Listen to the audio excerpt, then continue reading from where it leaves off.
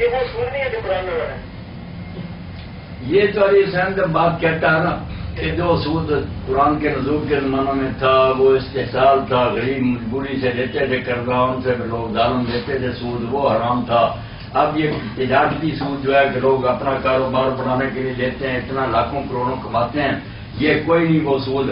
یہ باتیں ان کی علی حسین بالکل سود ایک ہی ہے، غریبوں سے لیا جائے کاروبار والوں سے لیا جائے جو اصل در پر زائد لینا کسی شکل میں پیسے تو گزار ہے نا، اگر میں کسی کو رقم دے دیتا ہوں کر اس کے مکان میں رہتا ہوں کہ جب تک تم پیسے نہیں دے گا میں تمہارے مکان میں، یہ بھی سود ہے۔ قرض پر کسی قسم کا نفع لینا سود ہے۔ اور یہ ظلم عظیم ہے کہ کاروبار کرنے والے بیچارے جو ہے نا، وہ خطرے میں ہیں، پتہ نہیں نفع ہو یا تباہ ہو جائے۔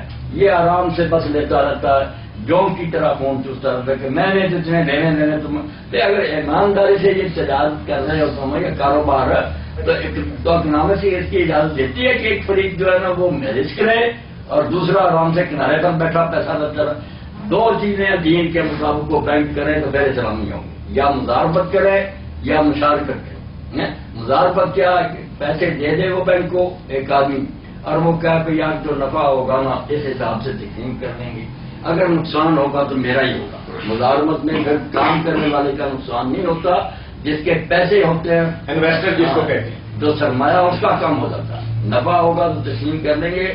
وہ بھی یہ مقرر نہیں کہ اتنے پیسے لینے نہیں شرح مقرر کریں گے کہ اگر نفع ہوگا تو پچیس فیصد یا سو فیصد ستر فیصد اس کو ملے گا اتنا اس کو ملے گا نسبت۔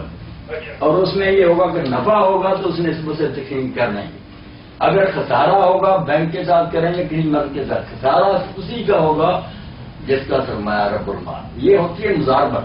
اور تم شراکت ہے کہ بینک بھی کچھ پیسے لگائے یا آدمی بھی لگائے اس میں نفع نقصان دونوں ہوتا ہے۔ کہ نفع ہوگا تو ہم اس حساب سے تقسیم کریں گے۔ اگر نقصان ہو جائے گا تو پھر دونوں پارٹیاں اس طرح پر یہ دو چیزیں جب تک یہ نہیں ہوتی اس کا نام اسلامی بینک رکھیں یا خدا رکھیں سب فراڈ ہے دھوکہ دینے کا طریقہ ہے؟ اسی سود پر لیبر لگا دیتے ہیں دوسرا کچھ یعنی یعنی سود یہ سب سود ہے۔ یعنی نہیں کوئی اسلامی بینک نہیں یہ سود ہی۔ یہ مولانا تقی عثمانی جنہوں نے ہیرا فیری سے فتح لیے۔ مگر ایک تھا رسالہ کراچی سے نکلا دیوبندی اور ماں کا سو سے زیادہ نے فتح دیے کہ تم نے ڈالر رہ کر دین خراب کر دیا تھا کس طرح حلال ہے یہ تھا سود اور حرام۔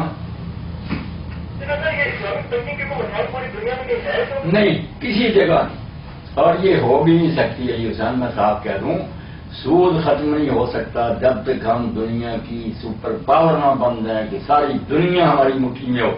کہ نہ سود لیں گے نہ کسی علاقے میں کسی کو لینے دیں گے۔ جیسے حضور پر میں جب اقتدار ہو گیا ورنہ ایک پارٹی سود ختم کرے کس طرح کرے؟ ہم آپ نہیں لیں گے مگر دوسرے لوگ کاروبار جو کرتے ہیں ملک ہم سے وہ کہیں گے ہمیں تو سود لینا ورنہ تجارت بند ہو جائے گی۔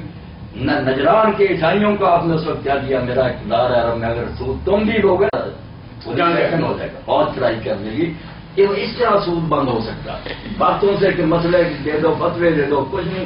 اس بوڑھی دور میں جو بچے نوکریاں کرتے ہیں، بینک میں وہ بھی کرتے رہے جو کاروبار ہو رہا ہے، وہ بھی جس طرح اور برائیاں ہو رہی ہیں وہ۔ مگر ان کو برائی مانے اور ہمارے جو معیشت دان ہے نا، یہ محنت کر کے انگریزوں کی، کافروں کی تکلیف چھوڑ کر اتحاد کریں کو راستہ نکالیں کہ مزاربت اور مشارکت کسی طرح آ جائے اسلام لانے کی کوشش کریں، پھر شاید جب تک یہ کھاتے پیتے رہیں گے، رسول اللہ معافی دے گی آخر مکی دور میں اور مدینہ شریف میں اتنے سال جا کر حضور کا چچا عباس کھاتا رہا صحابہ کھاتے رہے۔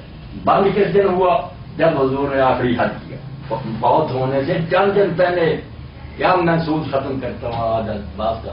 یہ مذاق ہوتا ہے سسٹم چل رہا سیٹ اپ اس کو فتووں سے بند کیا جا سکے۔ پہلے کوئی بھائی ماحول بناؤ کہ کسی شخص کو سود نہ دینا نہ دینا، ورنہ کسی جگہ بھی چلتا رہے گا نا۔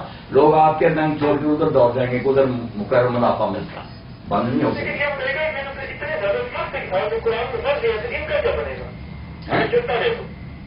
نہیں چلتا رہے، مگر بدلنے کی کوشش کریں نا۔ میں ساتھ ہی کہہ رہا ہوں کہ سارے مسلمان اپنی بات کرتے ہیں کہ ہم حفاظت کے ڈھیر پر بیٹھے ہیں نجاست پر اس سے جان چھڑانی ہے۔